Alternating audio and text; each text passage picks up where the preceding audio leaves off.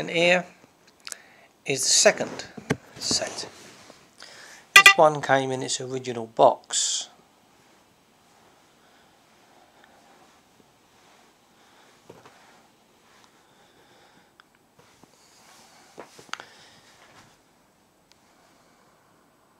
Isn't it beautiful?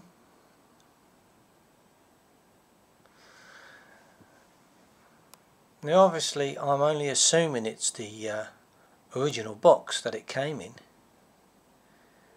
But then again I have no reason to believe that it isn't. Here's the second set I have by B.H. Wood.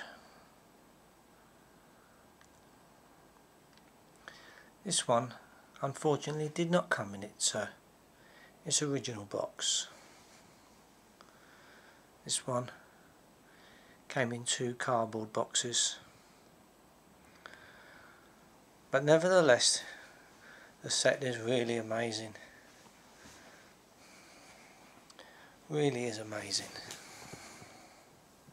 I should try and give you a close-up of that if I can.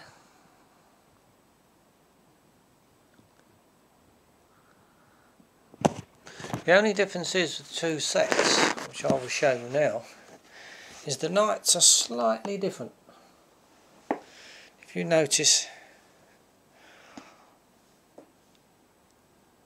on one set, this knight is very slim, and on the other set, the knight is quite thicker in the neck.